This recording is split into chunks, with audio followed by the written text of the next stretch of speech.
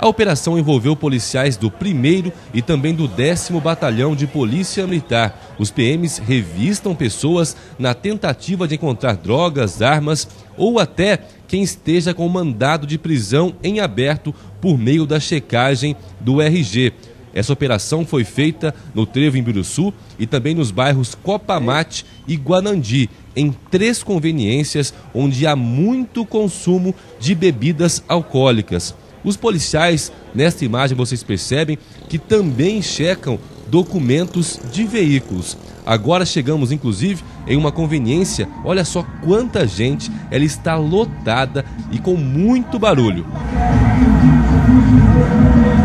Todo mundo com as mãos na parede, esse tipo de ação é importante para coibir a criminalidade e para a própria segurança de quem está aqui, ó, passando por essa checagem, passando por esta vistoria. E os policiais também, por falar em vistoria, eles revistam interiores de veículos como este aqui, ó. E agora a Tenente Maria vai falar para a gente se a operação continua. A operação vai estar tá sendo realizada aí ao longo da, desse período de férias, tendo em vista que e o verão, né, tendo em vista esse período ter está tendo um índice bem grande de pessoas, aglomerações nos postos de combustíveis. Hoje nós fizemos uma operação lá no Trevo Sul, na conveniência do Guarandi e na conveniência do, do Jarrão, né?